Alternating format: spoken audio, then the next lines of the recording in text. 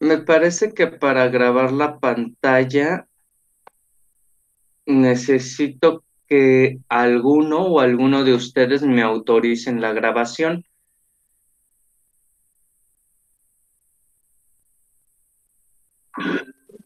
Va, gracias.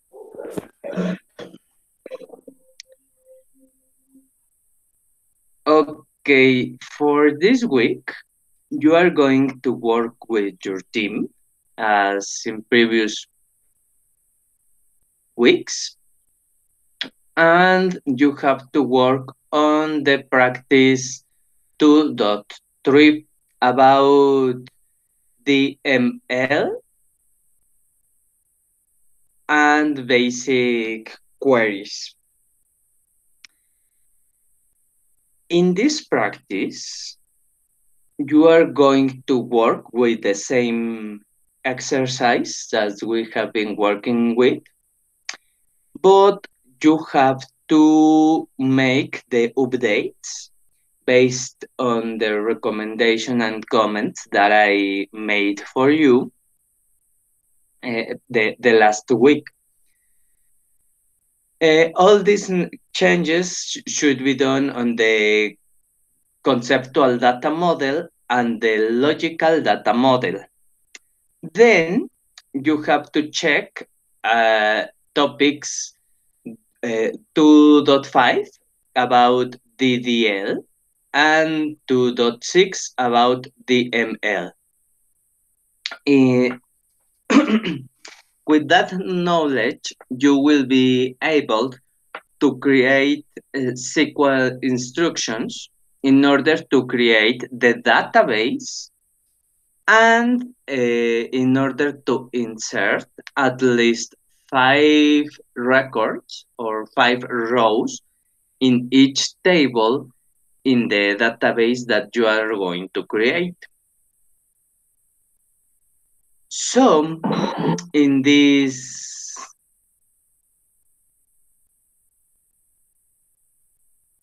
so in this practice you are going to send me uh, one document a pdf with the diagrams and also the SQL instructions. Also, it is so important that you send me the MySQL add-on URI uh, for, for each member in your team in order to check the database loaded in Data Cleaver, in Cleaver Cloud. Okay, so remember that in Cleaver Cloud, you created your account and in this site, you can work with MySQL. You have to set your connection to your database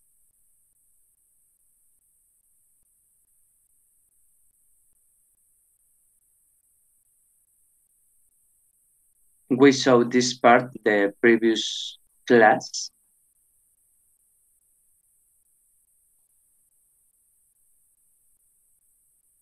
When you have your data, sorry, when you have your database, you have a copy or uh, you have to copy some some bars and uh, with this, you can create your connection in your MySQL Workbench software. In this case, for me and your um, for your homework, I just need you to send me the MySQL add-on URI. It is like an URL, but it is about all the service that you have uh, for your MySQL account and in specific for, for the database. Uh, the themes will be the same as we have had in previous weeks. So uh, this is going to be the last the, the last practice in working in teams. And you have to check all the items that I'm going to check just in order to be clear about how you are going to be evaluated. Okay? Is there any question?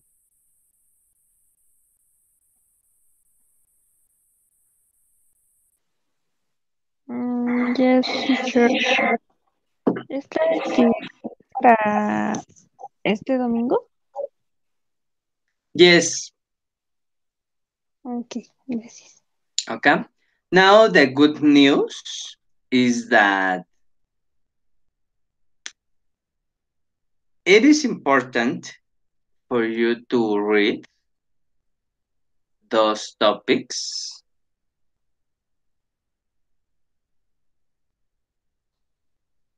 uh, it, it is a presentation for dot two five for for dot uh, uh, uh, uh, sorry for two dot five and two dot six. There, is a presentation. It looks like a big presentation, but also you can create all the SQL code with if you did your relational model in MySQL Workbench just in one uh, step or with, one assistant. You just have to go to database, then choose forward engineer. It will be opening the assistant. There you have to choose your connection. Then you have to you, you have to select just omit a schema qualifier in object name. Sorry, in object names. You have to check that all the tables in your model uh, are activated. So we, uh, in this case, I have uh, 13 tables, so that's okay. And by clicking in, in this step, by clicking next, you are going to be able to see all the SQL code that you are going to work with in order to create your database. So it is an, uh, uh, an easy step, okay? But I also need you to check the whole topic 2.5 in order to know how to create tables, how to modify tables, and how to drop tables. It is the, the main objective in this in this topic. And uh, about the um, the ML, we need to know how to insert, update, and delete rows from each relation, and how to query this um, and how to query these these rows. Okay, so it looks hard, but it is not too much. And in this class, I would like to show you how to do it manually. Okay, so uh, it, it is more about practice. So if you have uh, a lot of practice, you are going to, to learn uh, more easily. Okay?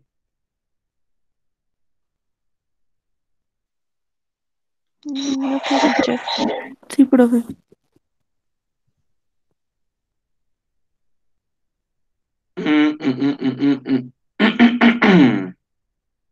Ah, ya dejé de presentar. Muy bien. Ya dejé de presentar. Perdón, chicos. Sí presenté esta parte del asistente de MySQL, ¿verdad? O ya no se vio.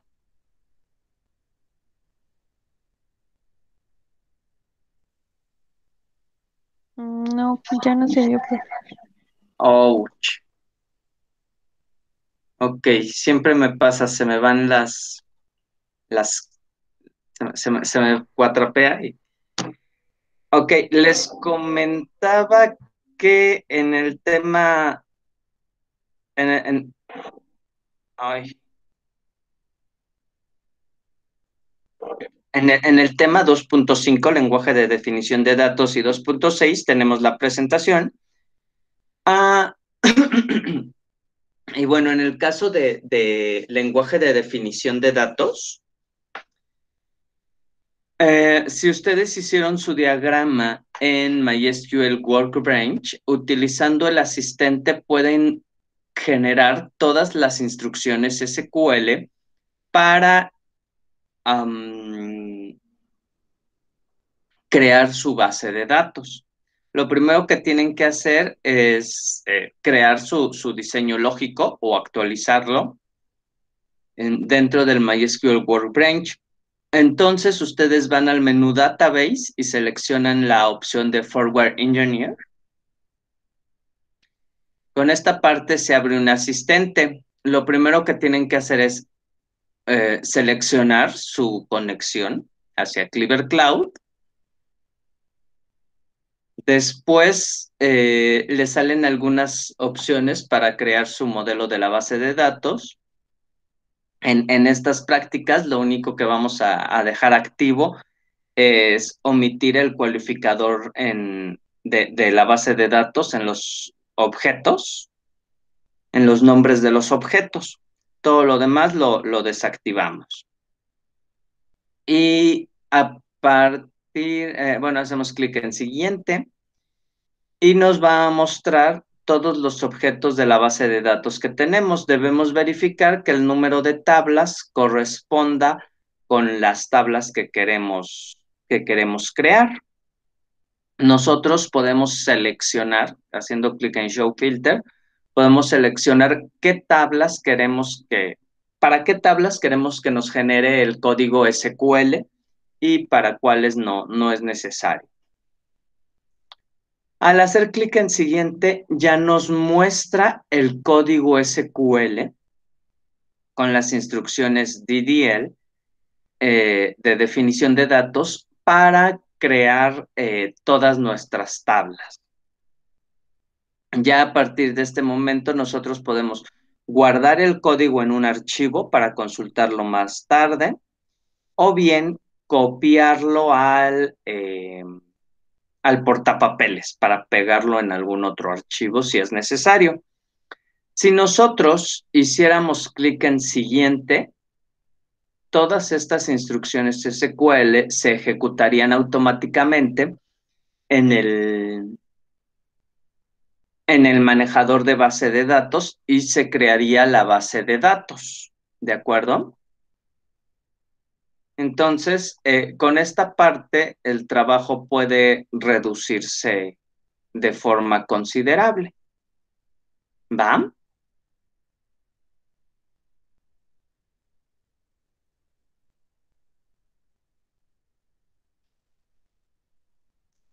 Ok.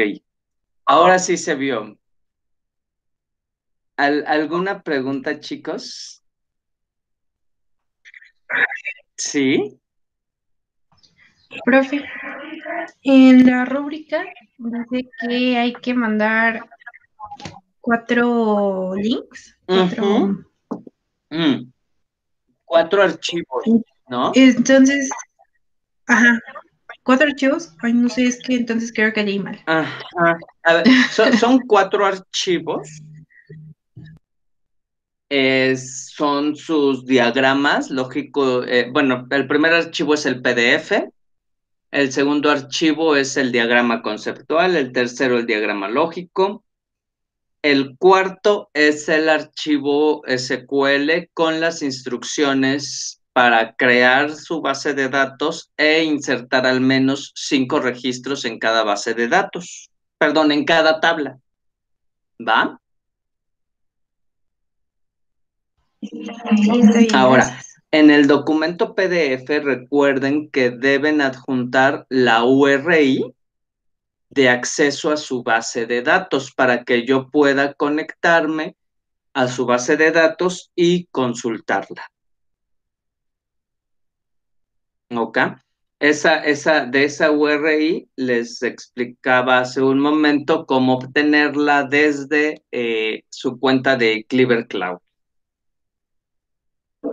Profesor, yo tengo una duda. Dime, Pamela. Eh, la, en el trabajo pasado, hicimos este, el trabajo del equipo, obviamente. Pero, por ejemplo, después para poderme conectar a MySQL con, con, este, con el URL, no me aparecía el trabajo elaborado. Ok. Um,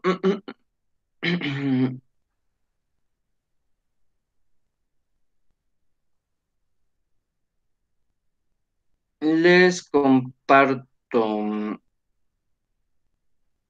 Cuando ustedes entran al MySQL Workbench,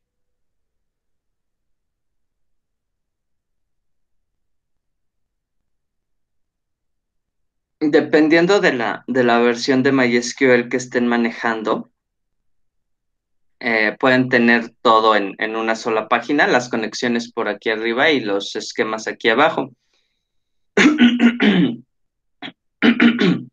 En la parte de los esquemas o modelos, ustedes crean su, su nuevo esquema.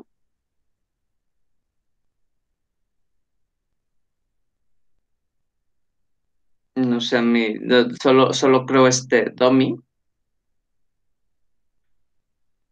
Eh, bueno, está el, el, botoncito para guardar. Mm, mm, mm.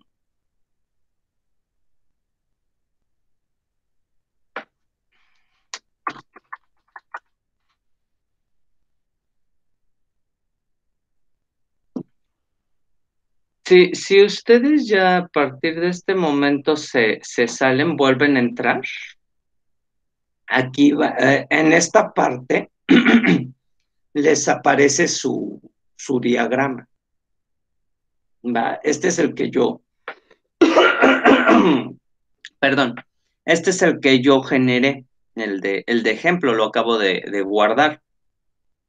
En caso de que algún compañero se los haya enviado, tienen que hacer clic aquí en el menú abrir y ya buscan el, el archivo y pueden abrirlo sin problema. Las conexiones como tal son, son independientes del diagrama que ustedes generan. Ok, yo puedo tener esta conexión. Sobre esta conexión realizar algunas eh, actividades.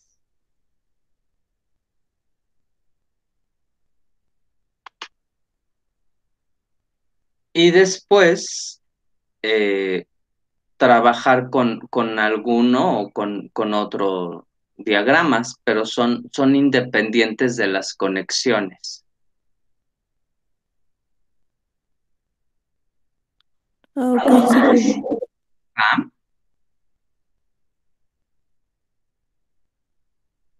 Ok, ¿alguna otra pregunta, chicos?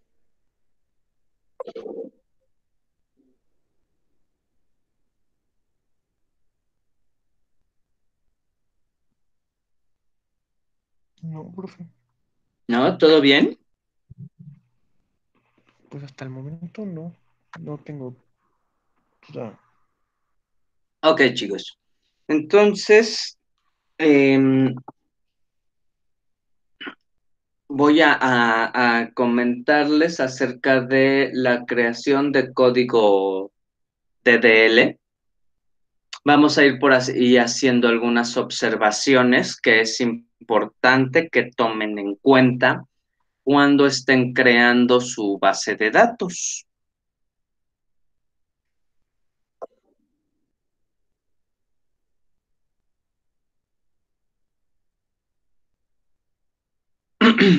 Ok, si recordamos, cuando trabajábamos en, cuando tuvimos un primer acercamiento hacia SQL, yo les mencioné que teníamos dos tipos de instrucciones. Podemos tener instrucciones SQL de definición de datos e instrucciones SQL de manipulación de datos. La definición de datos consiste en crear una estructura de datos la cual nos va a permitir em, la, cual nos va a permitir ser el soporte o, la, la, estructura en la cual vamos a guardar toda la información. Es la creación de las tablas propiamente dichas. Y manipulación de datos se refiere al, a la información en sí, ya no a la estructura en la cual os voy a, voy a trabajar, sino a las opciones de cargar información o insertarla, eh, a, las, a la operación de actualizar la información, eliminar la información y de eh, verificarla o consultarla. Con estas diferencias, eh, pues nosotros tenemos que DDL significa Data Definition Language, lenguaje de definición de datos, y nos permite crear un esquema en donde los datos van a ser almacenados. Tenemos básicamente tres tipos de instrucciones son create para crear objetos de la base de datos, alter para eh, modificar objetos de la base de datos y drop para eliminar objetos de la base de datos. En una base de datos en general, nosotros podemos tener distintos tipos de objetos. Estos objetos pueden ser tablas, pueden ser vistas, usuarios, índices, restricciones, funciones, eventos, procedimientos y disparadores.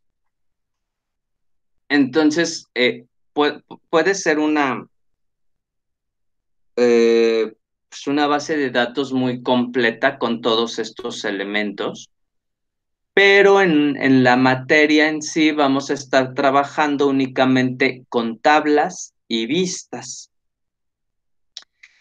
Clever Cloud, al ser una plataforma gratuita, por ahí nos restringen algunas cuestiones. Por ejemplo, nosotros no podemos crear eh, usuarios, solo tenemos un usuario definido ahí. Si quisiéramos crear más, tendríamos que realizar el, el pago de alguno de los planes, pero eh, está bien. En general, cuando ustedes estén trabajando, pues les van a asignar a ustedes un usuario y ya ese usuario ustedes lo utilizan para conectarse. Eh, los demás elementos son elementos hasta cierto punto un poquito más técnicos, para el uso de la base de datos, pero igual es importante que ustedes sepan que existen, ¿va? Aunque no vayamos a, trabajar como tal con ellos. Eh, eh, sobre todo igual en, las sesiones, pues el, el, objetivo de la materia, pues es que ustedes puedan obtener información generar información a partir de la ya existente y para ello solo necesitamos el acceso a las tablas y las vistas para poder almacenar código SQL.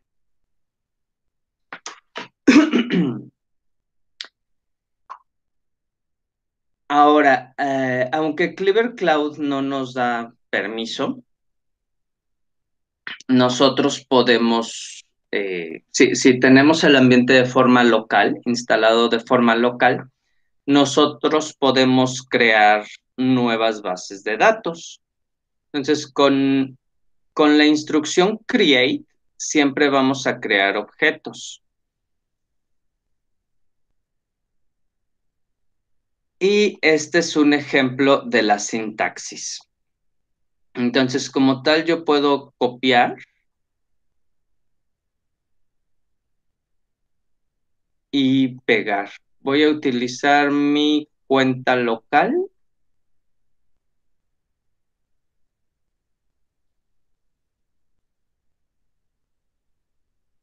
Voy a crear un nuevo archivo SQL.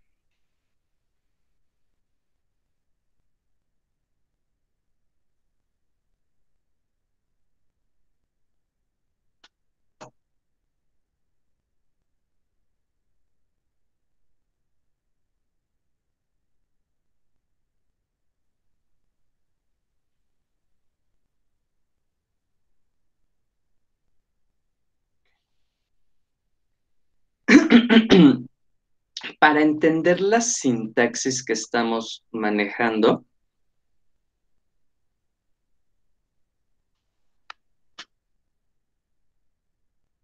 nosotros tenemos aquí el, la instrucción SQL completa que va a generar una base de datos. Entonces, las partes opcionales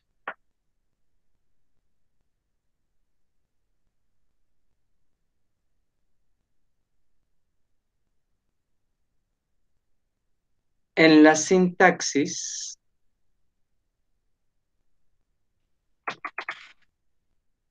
ah, perdón, chicos. Es este. Listo. Las partes opcionales de una, en, en una base de datos las pongo entre corchetes. Entonces, eh, puede que las tengamos o que no las tengamos. Las partes obligatorias o que son objetos de la base de datos, dentro de la presentación yo las pongo en cursivas.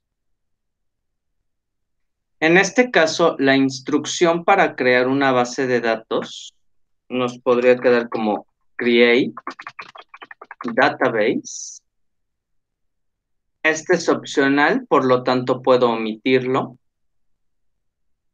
Pongo el nombre de mi objeto, el nombre de mi base de datos. ¿Qué nombre le quiero poner a mi base de datos? En este caso yo le voy a poner ejemplo 01. Esta parte es opcional. Entonces aquí puedo terminar toda mi, mi instrucción. Y este sería un ejemplo de una instrucción SQL para crear la base de datos. Otro ejemplo podría ser oh, oh, create database if not exist. Ejemplo 02.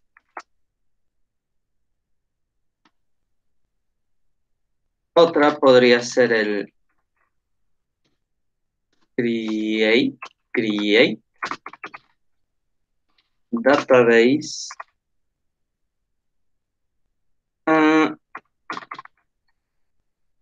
ejemplo 03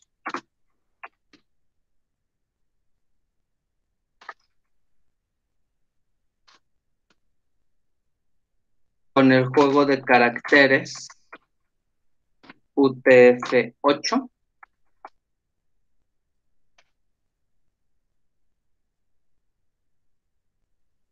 Y una forma más, create database if not exist. Ejemplo 04.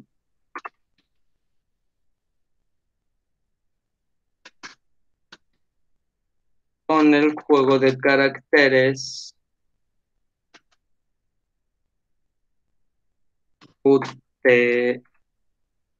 F8 y con un collate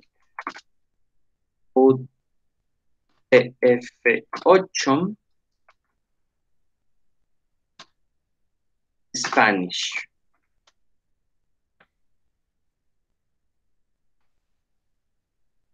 Y, si nosotros vemos aquí en mi, en mi lista de base de datos que tengo creadas localmente, no tengo ejemplo 1, ni ejemplo 2, ni ejemplo 3, ni ejemplo 4. Son instrucciones que crean bases de datos, pero con diferentes opciones. Por eso los demás elementos o los elementos que están entre corchetes son opcionales. En este caso, yo voy a crear la base de datos ejemplo 1. ¿Qué es lo que va a suceder? Se crea la base de datos de ejemplo 1. Si yo la intento, eh, bueno, voy a, a, correr solo esta instrucción SQL. En SQL todas las instrucciones se terminan con punto y coma. ¿Ok? Entonces, esta es una instrucción SQL, esta es otra instrucción SQL, otra instrucción, y esta última es otra instrucción. Entonces, yo puedo incluso escribir el, el, comando o la instrucción SQL en varias líneas, no pasa nada cada línea se va separando por punto y coma. Entonces, si ejecuto la primera,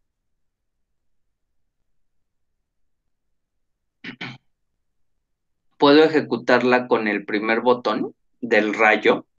Este lo que va a hacer es que se van a ejecutar todas las instrucciones SQL que tenemos. O bien, si tenemos seleccionada una parte, se va a ejecutar solo esa parte.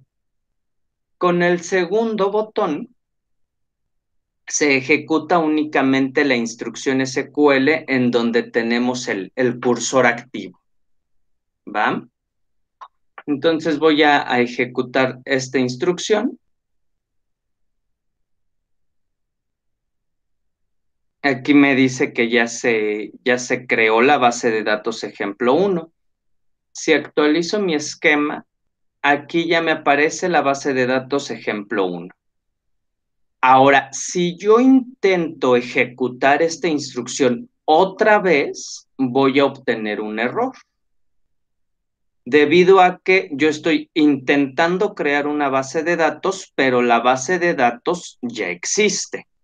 Aquí me, me sale en el ejemplo, perdón, me sale en el, en el output y pues las descripciones son claras. No puedes crear la base de datos ejemplo 1 porque la base de datos ya existe. En cambio, si yo, por ejemplo, ejecuto ahora la instrucción 2, a donde sí dejamos el if not exist, yo creo la base de datos, se crea la, la primera vez, Aquí está mi base de datos creada. Si ahora yo vuelvo a ejecutar, ya no obtengo un error, obtengo un warning en donde me dice que la base de datos ya existe, pero no es, eh, no, no me provoca un error. ok, entonces el if not exist me sirve para eh, evitar errores en caso de que el objeto ya exista. Ahora, los, los, juegos de caracteres, en, estas dos bases de datos, tanto ejemplo 1 y ejemplo 2, donde yo no los indiqué de forma explícita, toma el juego de carácter y el collate de forma predefinida, los que están establecidos en el, en el servidor de base de datos. ¿Para qué me sirven? Chicos, son importantes porque el juego de caracteres te sirve para indicar como en qué, en qué idioma o, o, más bien qué alfabeto, qué juegos de caracteres de qué alfabeto vas a utilizar en tu base de datos. Puede ser que tú hayas establecido un juego de caracteres ASCII y el juego de caracteres ASCII solo va a permitirte trabajar las letras del alfabeto inglés, que si hemos de recordar, no permite acentos, no permite ñes, no permite diéresis, no permite la C. Ay, se me, se me fue el nombre del, del ganchito que aparece en la C francesa. Entonces, por eso es importante el juego de caracteres. UTF-8 yo se los, se los establezco como de forma clara porque es el juego de caracteres más general. Les permite manejar caracteres eh, latinos como las letras acentuadas, la ñ. Les permite manejar eh, diéresis, las letras con el ganchito como la, la C francesa e incluso les permite manejar eh, caracteres orientales, como los, los, caracteres que se manejan en, en chino, en japonés, en, bueno, en general en, en, en los lenguajes del, del área asiática. Entonces, el juego de caracteres es para los tipos de letra, por así decirlo, que vamos a manejar. Collate es para indicar el idioma de nuestra, de nuestra base o el idioma en el que van a estar nuestros datos también es importante y depende del juego de caracteres, por eso comienza igual. Eh, en este caso yo estoy estableciendo español, pero igual en la sintaxis yo les puse el general CI, porque es el, el más general, el más completo, por así decirlo sobre todo porque no siempre las búsquedas de información se realizan de la misma forma. En algunos casos podría tomarte las mayúsculas y minúsculas como si fueran letras o elementos diferentes. ¿Va? Por ejemplo, no sería lo mismo buscar a una persona que tenga el nombre de nombre Rubén si, si lo escribo con mayúscula, con minúscula, con acento, sin acento. En cambio, en español sí sería lo, lo mismo. También lo considera así la parte general, el, el, el UTF-8 General CI. Entonces, por eso se los, se los establezco. Con este caso, yo voy a encontrar al, a la persona que se llama Rubén, eh, si la R inicial está con mayúscula, con minúscula, si lo demás del texto está con mayúsculas o con minúsculas, no importa, yo voy a encontrarlo. E incluso si está con acento o, está sin acento, me va a permitir encontrarlo. Entonces, por eso es importante el juego de caracteres y el collate, que, está enfocado al idioma. Y bueno, de, igual forma, pues son, son elementos opcionales. ¿Van? Aquí eh, podemos utilizar create database o create schema. En, en, en MySQL son, son sinónimos. Les explicaba lo del if not exist, el juego de caracteres y el collate. Si quieren saber, voy a mi cuenta Clever Cloud. Si quieren saber cuáles son los juegos de caracteres que tienen disponibles, ustedes pueden copiar la instrucción, que es en, en este caso show character set. Mostrad, mostradme los juegos de caracteres disponibles y tienen show collection.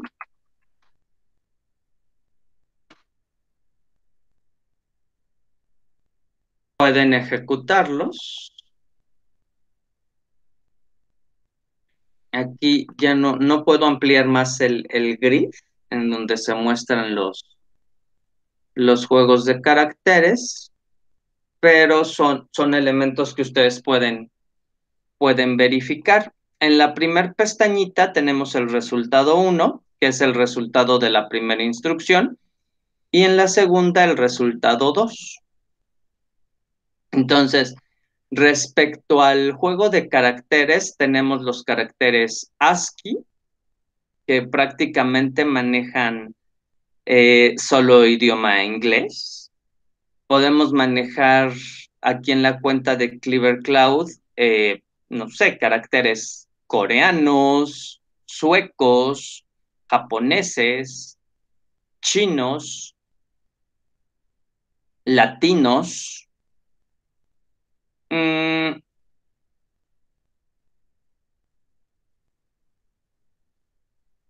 de otros eh, juegos de caracteres que la verdad no, no conocía, como el Tai. Pero eh, lo más general es utilizar algún UTF, en especial UTF-8. Es, es, como de los más, más generales, más estándar a, a nivel informático.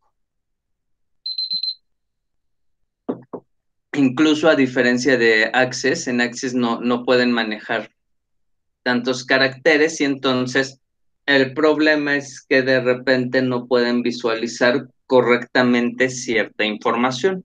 Ese problema no lo van a tener con algún otro manejador de base de datos. Respecto a los collation, tenemos para, para diferentes eh, opciones todo está dependiendo del juego de caracteres. En este caso, si utilizábamos el juego de caracteres UTF-8,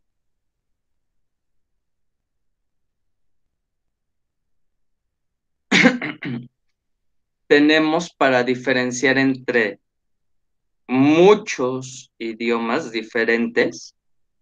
Tenemos croata, danés, el general, que es la, una, una de las mejores opciones porque incluye varios de los idiomas. Tenemos persa, por si alguien habla persa. Eh, no sé, este, eslovaco, supongo, español, sueco, to lower, que va a enviarlo todo, todo lo va a transformar a minúsculas. Eh, tienen vietnamís, turco, este, no sé, húngaro, alemán. Creo, creo que hay una, una variedad interesante entre juegos de, de caracteres. Perdón, entre collations que, les decía están enfocados al idioma.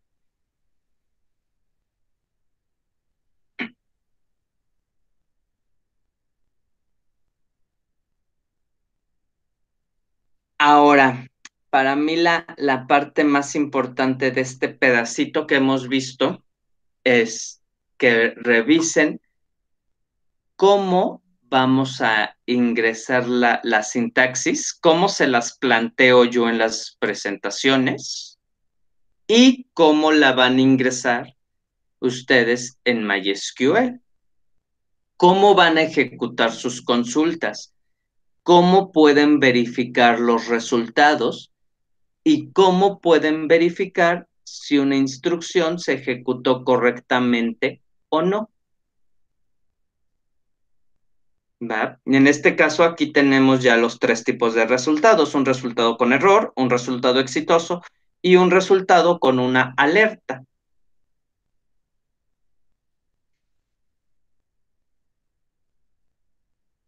Aquí les, les puse también algunos ejemplos de instrucciones SQL para crear bases de datos.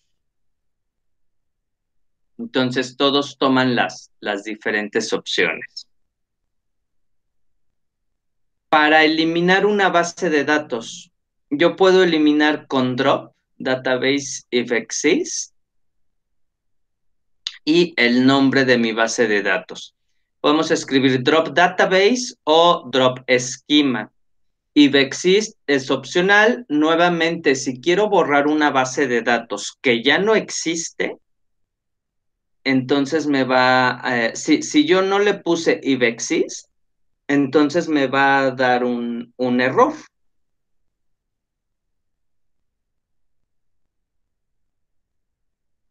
Entonces ahora voy a, a intentar borrar las, las bases de datos.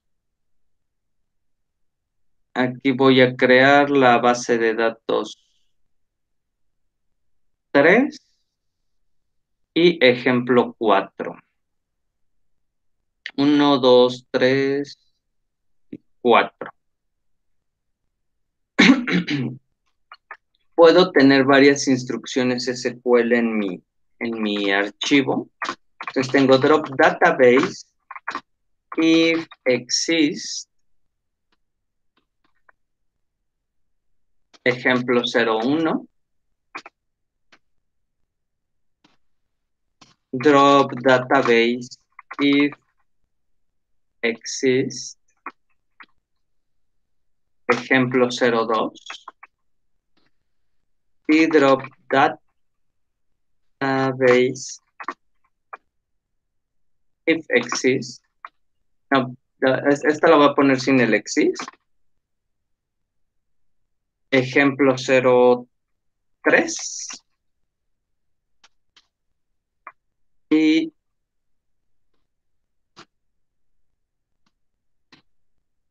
drop database ejemplo 04 ah, voy a limpiar aquí el, log de instrucciones. Chequen que, que, yo, yo voy a ejecutar las cuatro instrucciones de forma eh, secuencial. Entonces, yo hago clic en el, en el botoncito, en el, primer botón, se ejecutan las cuatro instrucciones. Con ello se borran las, bases de las bases de datos. Ya aquí ya no me aparecen, ya las eliminé. Ojo, si yo vuelvo a ejecutar las instrucciones, voy a, a borrar el log, se ejecutan solo tres. ¿Qué es lo que pasa? Se trata de ejecutar la instrucción primera, que es el drop database if exist, ejemplo 1. y solo se obtiene un warning, pero MySQL me permite seguir ejecutando las demás. El problema es que cuando yo llego al drop database, ejemplo 3, como la base de datos en este caso ahora ya no existe, ya la había yo eliminado previamente, entonces se genera un error y ese hace que se detenga la ejecución de, todas las instrucciones siguientes. ¿De acuerdo? Entonces, por eso es importante saber este, eh, e, evitar generar errores. Ahora, estas instrucciones yo puedo guardarlas. Está aquí su, botoncito de guardar.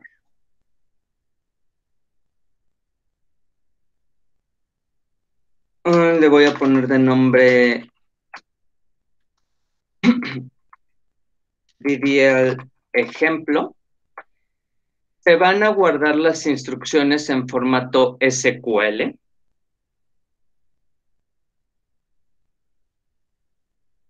Ya, ya aquí se, se guardó.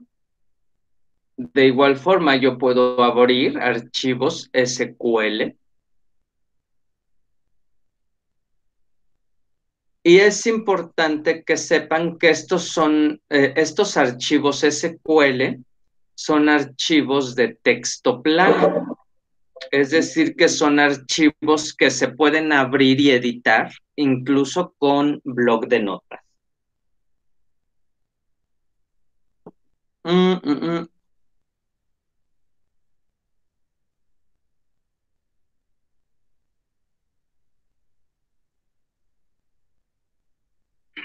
Si yo abro, aquí mi, mi blog de notas.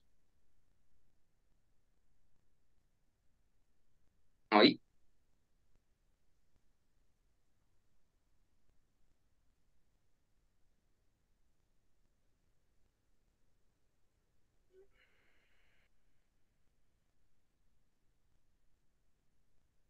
Y abro el archivo que acabo de crear, yo puedo ver el, contenido sin problemas y puedo actualizarlo y, y no pasa nada. ¿Va? Recuerden que en su actividad tienen que enviarme los archivos SQL para la creación de sus bases de datos.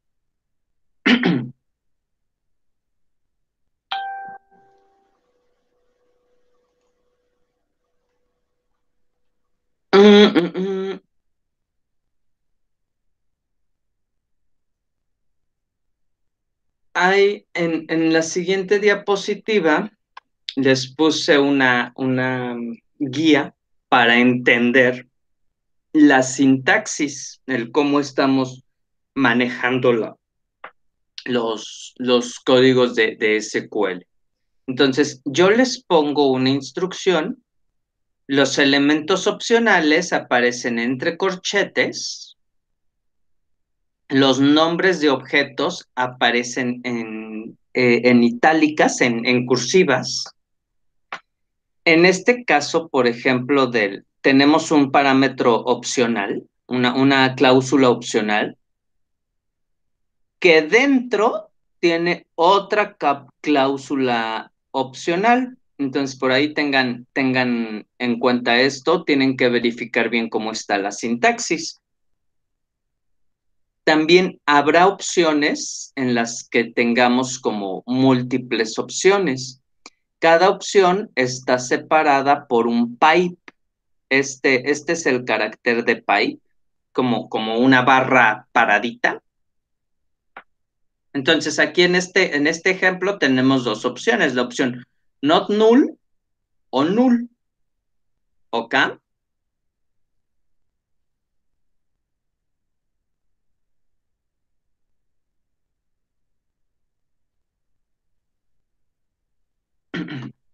Hasta aquí, chicos. Vamos, vamos bien. ¿Tienen alguna duda?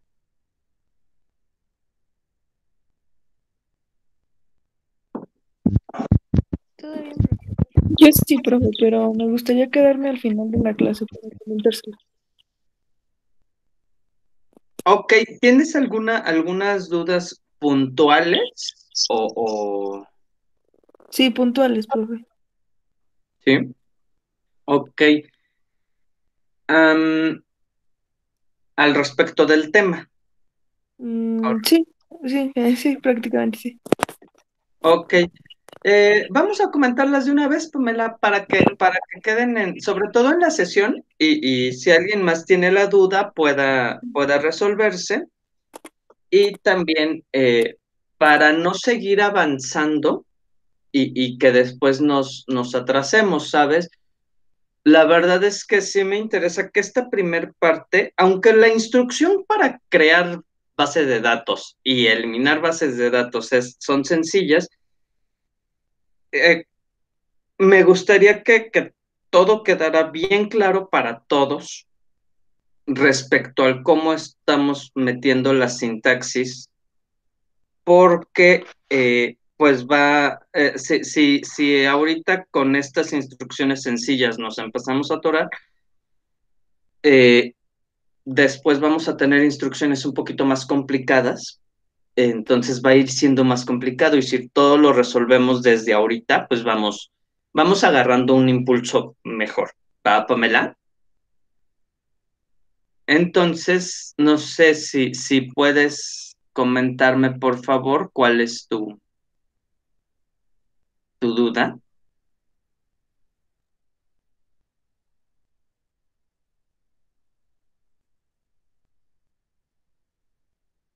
Ay, creo que la asusté. No, ya regresó. Sí, perdón, perdón. Ok, Pamela, yo, yo dije, "Chin, creo que, creo que ya la, la asusté o se enojó, o dije no, algo no. incorrecto. No, pero le piqué por accidente en salir. Ok, Este, Pamela. A ver, cuenta. Bueno, a ver.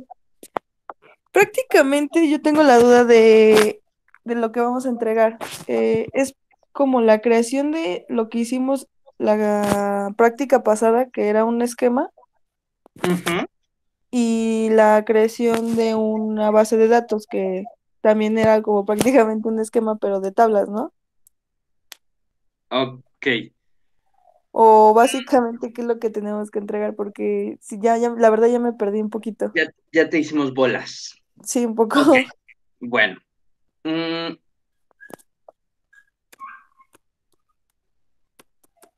ok. Si recordamos, el proceso para crear, eh, para diseñar y, crear una base de datos tenía cuatro pasos. El primer paso consistía en eh, generar la lista de requerimientos. ¿Qué información necesitamos?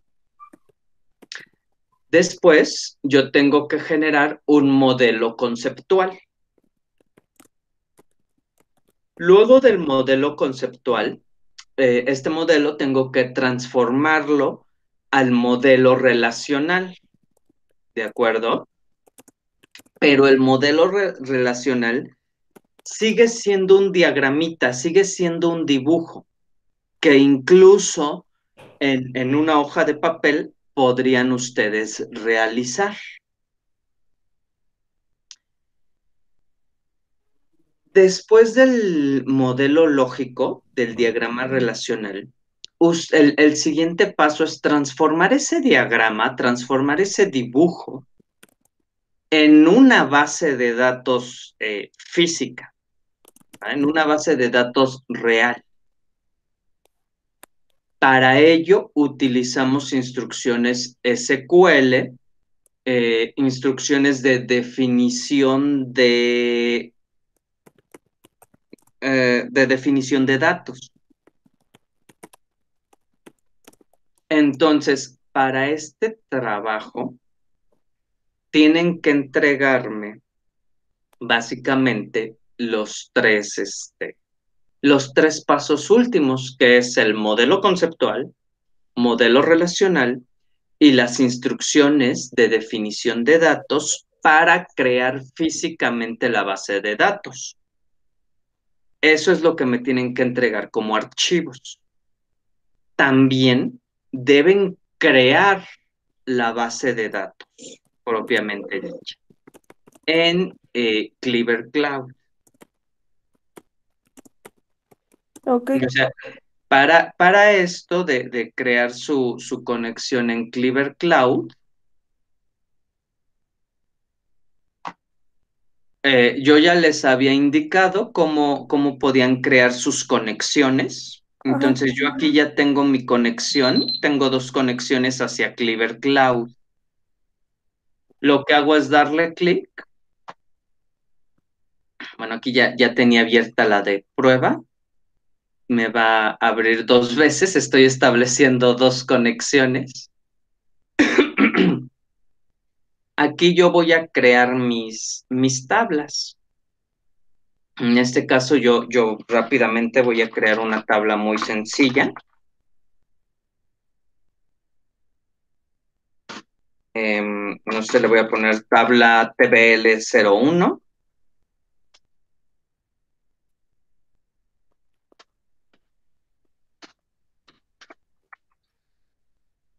Dos y tres.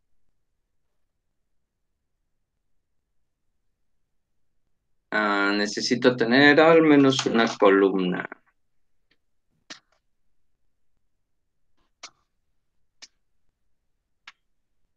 Al menos CIT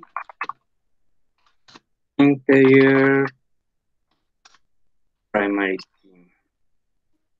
A, a todas las tablas les voy a poner la, la misma columna.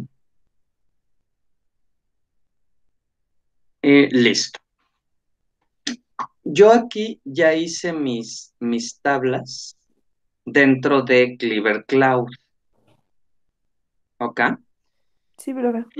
Entonces, cuando ustedes me pasen su, la URI de su, de su base, que es- este dato, yo desde mi MySQL Workbench voy a conectarme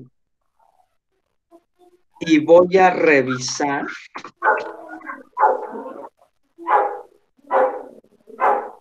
cuál es- cómo es la estructura de su, de su base de datos, ¿va? Para verificar que las instrucciones se correspondan con la, con el modelo lógico que ustedes están proponiendo, Ok. ¿va? También que, para checar que ustedes tengan registros insertados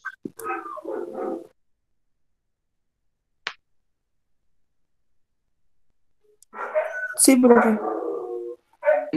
que queda un poquito más claro, Pamela. Sí, de hecho sí, profe. Este, otra cosita, no, es la última.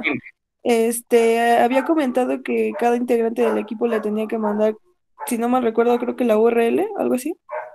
La URI, por ejemplo, es que ustedes crearon su cuenta de Clever Cloud.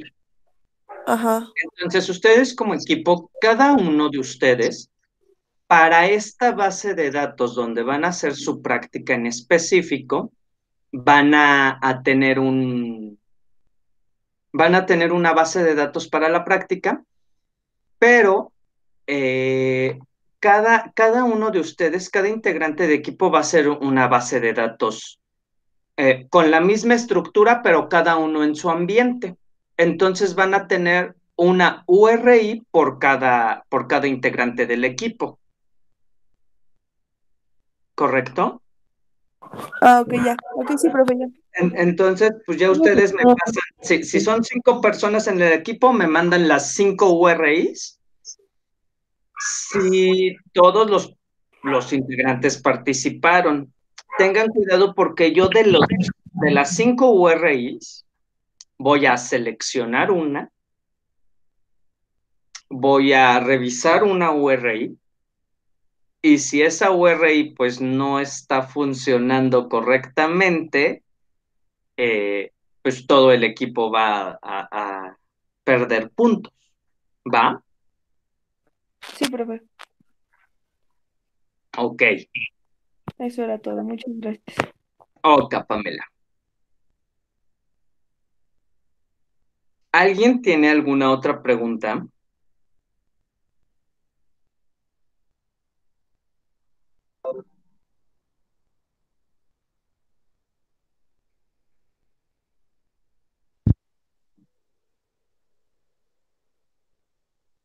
No, profesor.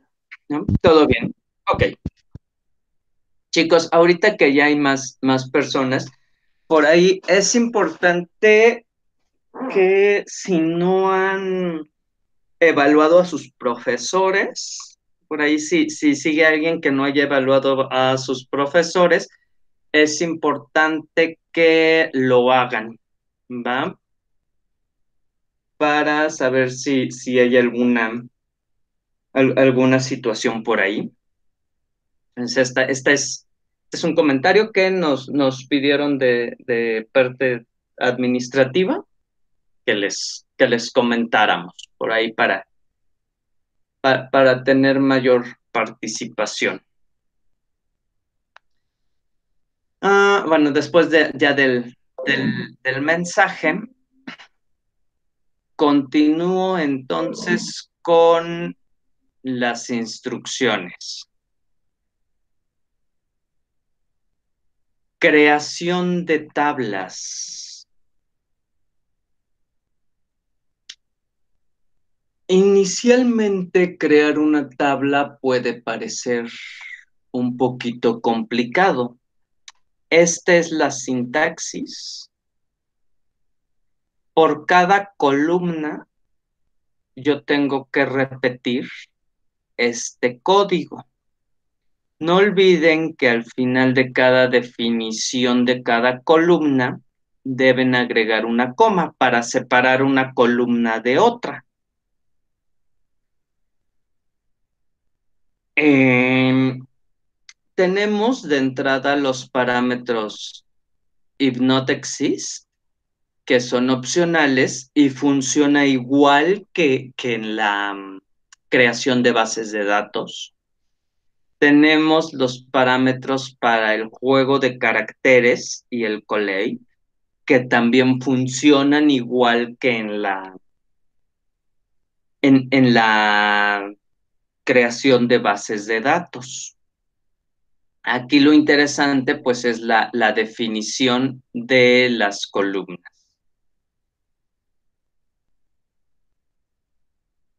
Eh, hay una nueva cláusula que es opcional, se llama, es temporary. Podemos tener tablas temporales. Las tablas temporales solo van a existir mientras que nosotros estamos conectados a nuestro servidor de, de MySQL. Cuando nosotros cerramos el programa, cerramos la conexión, las tablas se eliminan en automático. Si tenían información dentro de ellas, pues también se, se va a eliminar, ¿va? Por ahí en algunos casos, quizás lleguen a utilizar tablas temporales, pero son, son casos Em, no muy comunes. Sin embargo, para mí es importante que ustedes sepan que, que existe. La definición de columnas. Cada columna puede tener todas estas opciones.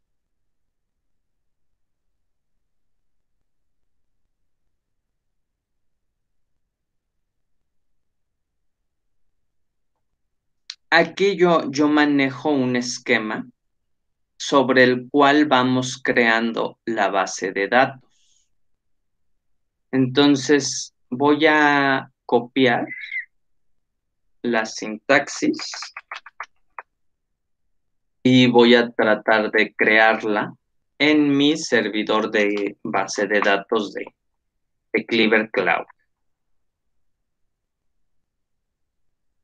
Mm, mm, mm, Vamos a ir checando cada, cada elemento. Entonces voy a crear la tabla alumno, que solo tiene inicialmente tres columnas, matrícula, nombre y dirección.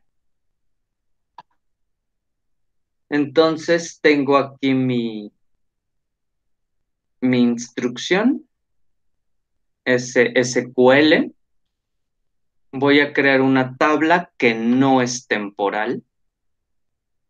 La voy a crear en caso de que no exista. Y mi tabla se va a llamar alumno. Voy a establecer el juego de caracteres y el, y el Decíamos que esta tabla va a tener tres columnas. Aquí está para una, dos y tres tablas.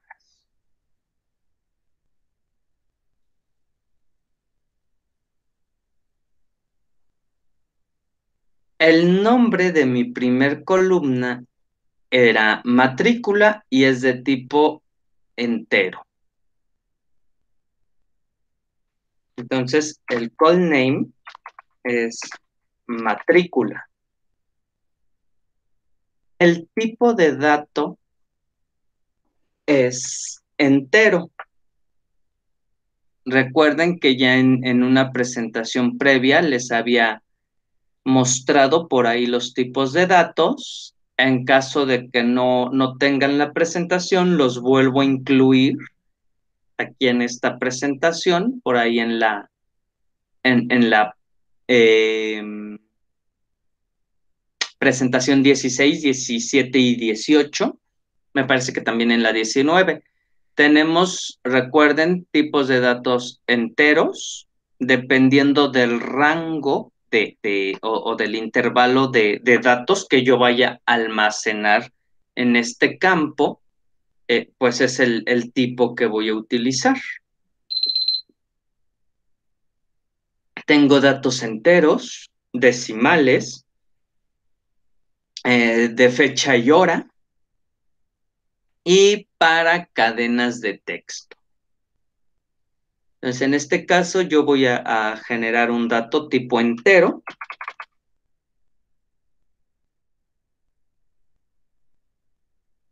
El data type es entero.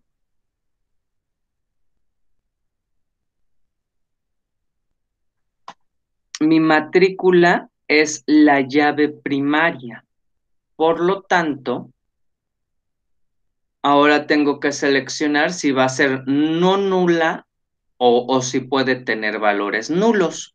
Como va a ser llave primaria, no puede ser nula. Por lo tanto, la opción que elijo es not null.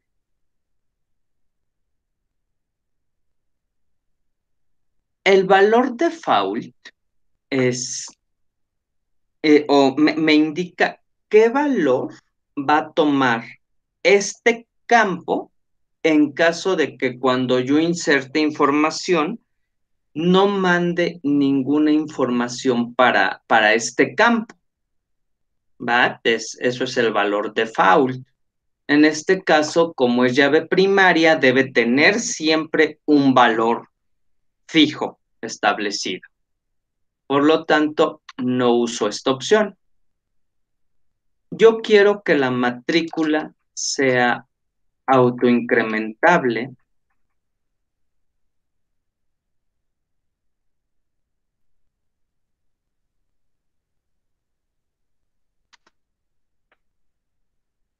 Unique Key lo van a utilizar para casos en los que el campo tenga que ser un campo con valor único. Es decir, que no se repita para, la, para las demás eh, filas. Es decir, cada fila va a tener su campo con un valor único, pero por alguna razón, pues no, no decidieron tomarlo como llave primaria. ¿Va? Podría ser, por ejemplo, si ustedes están haciendo una base de datos de personas eh, y ustedes tienen su propio número de control para cada persona, eh, un unique key podría ser, por ejemplo, el campo RFC, eh, el campo CUR de la persona, etcétera. Son campos que en teoría pues no deberían repetirse eh, para dos o más personas. Y tienen la opción primary key. En este caso, pues el campo matrícula es mi llave primaria entonces la dejo indicada como primary key.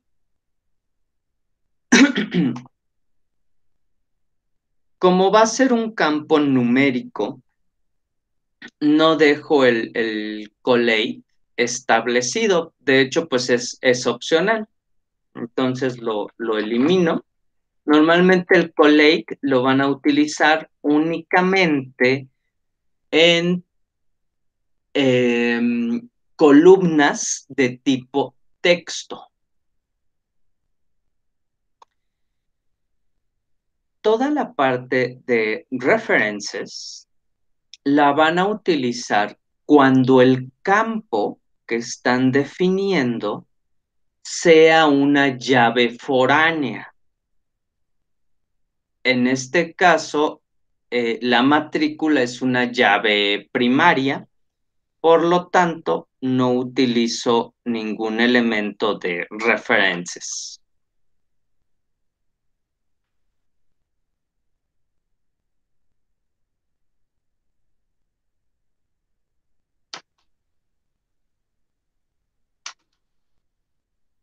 Listo, ya tengo el primer campo.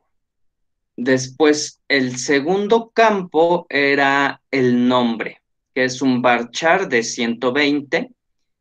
Aquí el diamante que está al lado del nombre está relleno, por lo tanto quiere decir que no es, no es nulo, siempre debe existir un valor para el nombre.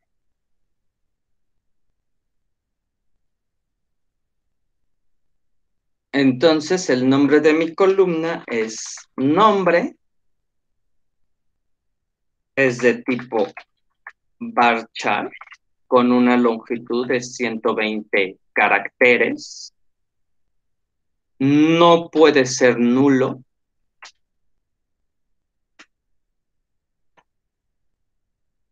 Entonces siempre debo enviar un valor no voy a establecer un valor default. No va a ser incrementable porque por, eh, por no ser un, número, perdón, por no ser un campo numérico, yo no puedo ir incrementando de uno en uno. Autoincrement, pues es una opción que voy a usar solo para campos tipo numérico. Entonces no es autoincrementable, no es único, no es llave primaria.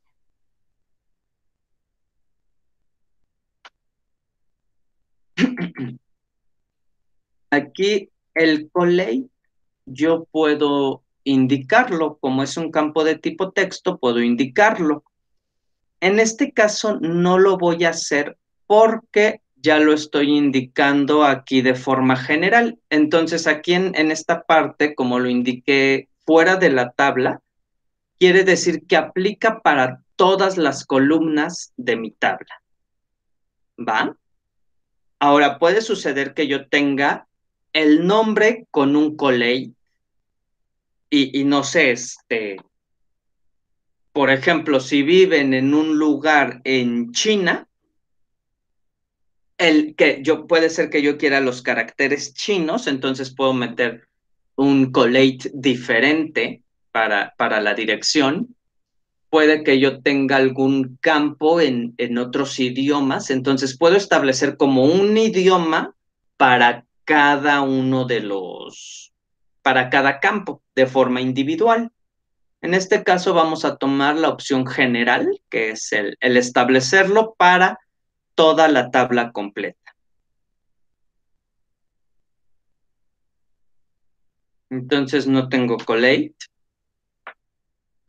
Tampoco voy a tener, eh, tampoco es una llave foránea, por lo tanto no utilizo la parte de referencias. Y aquí me queda la definición para el segundo campo.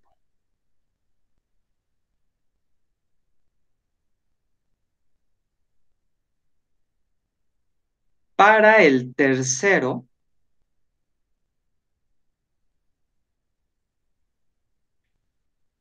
yo tengo dirección, que es un varchar de 250 caracteres, y este sí puede ser nulo. Entonces, tengo dirección, que es un varchar de 250 caracteres. En este caso ahora sí puede ser nulo. Si yo quiero, puedo establecer un valor por default, es decir, qué valor va a tomar el campo en dado caso de que no me pasen eh, un valor de forma explícita le puedo poner, no sé, sin dirección, se me ocurre. el valor del campo dirección es sin dirección. Todas las cadenas de texto y fechas deben venir encerradas entre apóstrofes. Este campo, como es de tipo carácter, ni siquiera considero la opción de que pudiera ser autoincrementable no voy a tener, no es un campo único, ni tampoco es un campo de llave primaria. Del collate voy, a tomar el collate de toda la tabla que se estableció en general y tampoco es una llave foránea.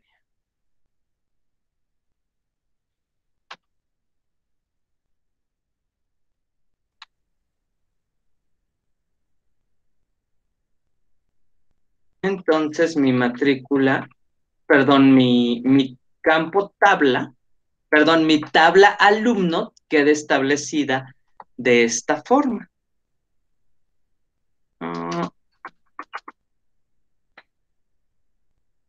Aquí, como es la última columna, ya no necesito la coma.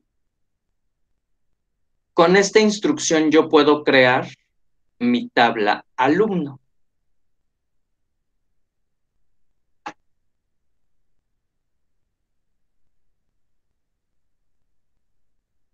Mm, mm, mm.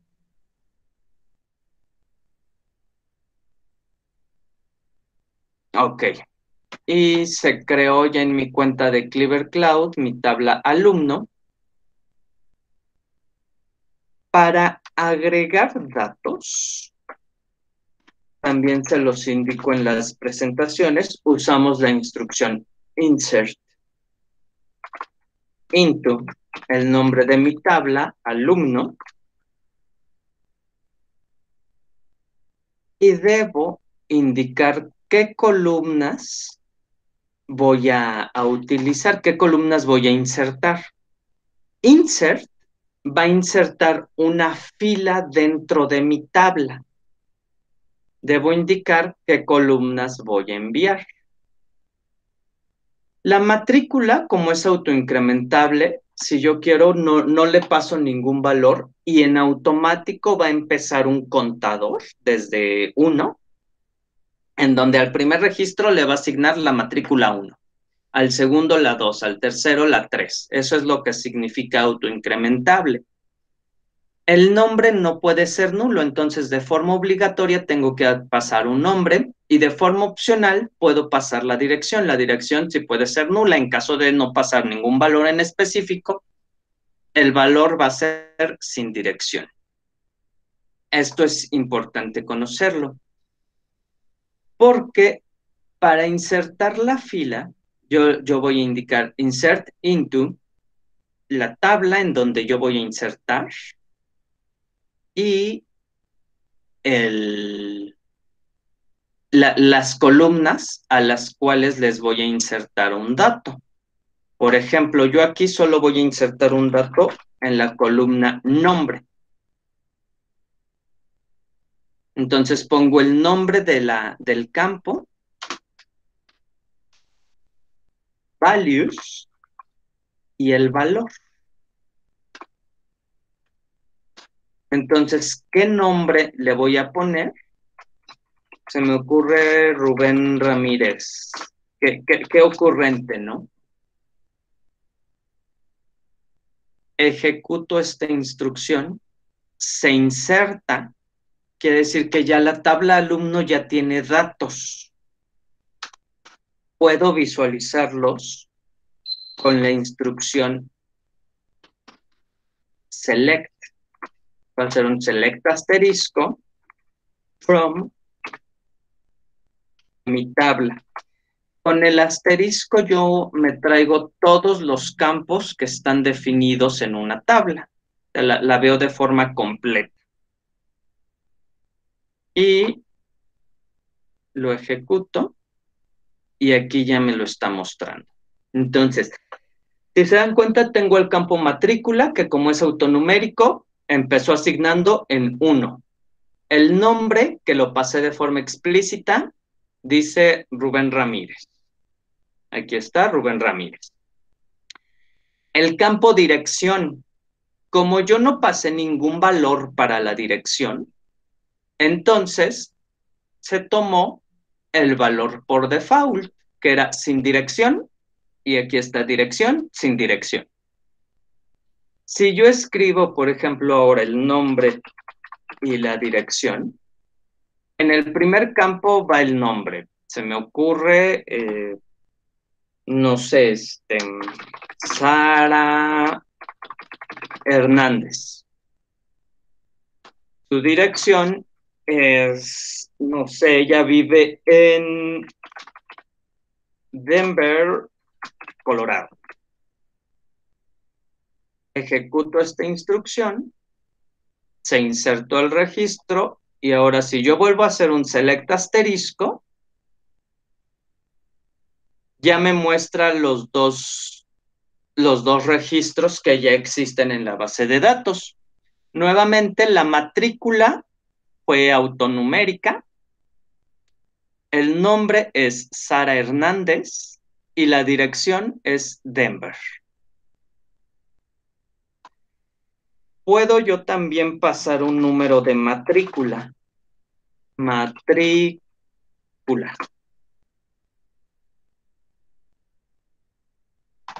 Y en este caso puedo decir que la matrícula es la del año 2020, mes 07, el consecutivo, no sé, se me ocurre un número como este de, matrícula.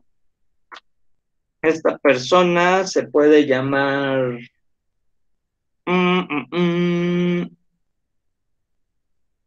no sé, Mariana Gómez. y su dirección puede ser, eh, no sé, la delegación Benito Juárez en Ciudad de México. Tengo ya el campo matrícula, el campo nombre y el campo dirección.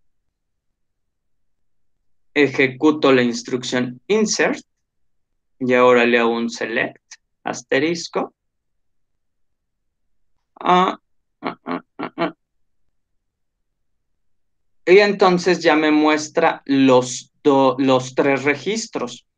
Ojo, la matrícula que yo establecí para Mariana, como la, la establecí, la pasé directa, no se calculó.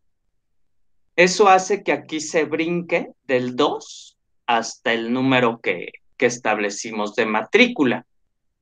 Entonces, si yo inserto ahora un nuevo registro, no va a seguir desde el número 3.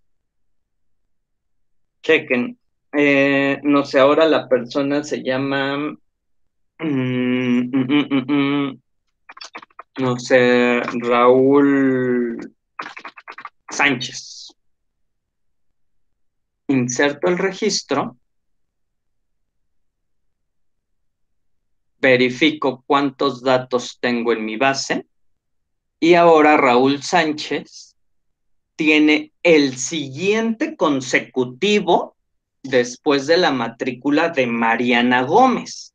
No se regresó al, al 3, sino que continúa con, eh, digamos, con el valor más alto y sobre ese calcula el, el siguiente. ¿Ok? ¿Dudas hasta aquí, chicos?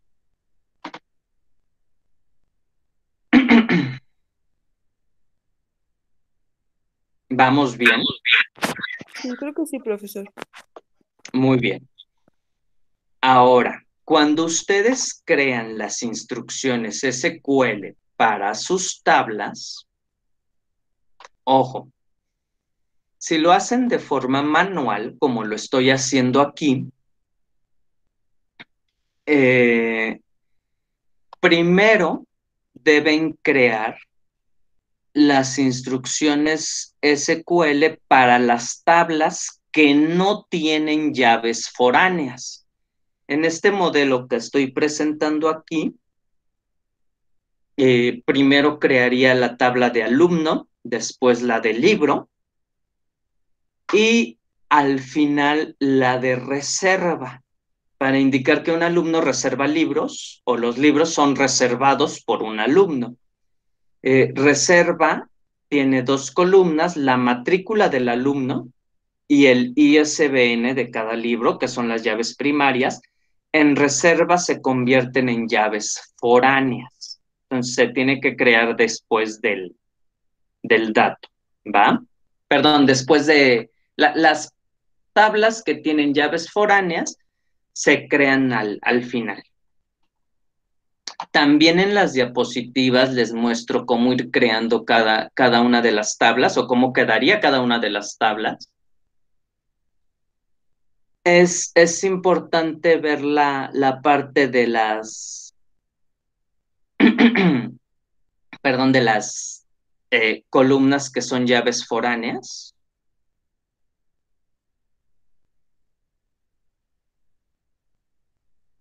Y también es importante que ustedes sepan que cuando yo tengo una tabla, en, este caso, por ejemplo, tengo mi, parte de alumnos, ah, ah, ah, voy a, a tratar de abrir este diagrama.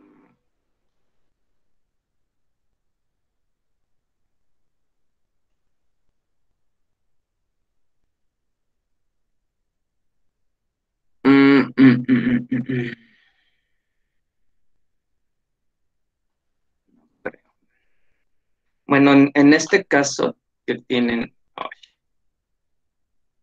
Mm, es la diapositiva 12.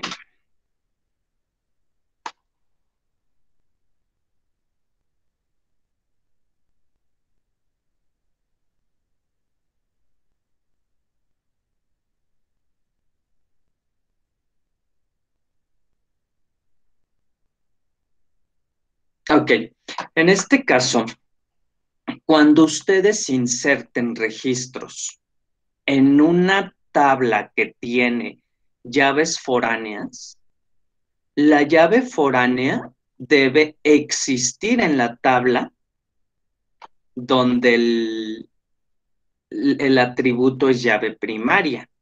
Es decir, si yo, por ejemplo, aquí tengo el alumno 1, 2, 3, 4 y 5, con matrículas 1, 2, 3, 4 y 5, al reservar, al insertar datos en reserva, yo solo puedo insertar en el valor de matrícula los valores de 1, 2, 3, 4 y 5. No puedo insertar 10, porque si no, yo diría, bueno, ¿quién es la persona, el alumno con matrícula 10? No existe. Entonces, si no existe, eh, pues no, no, puedo no puede reservar un libro.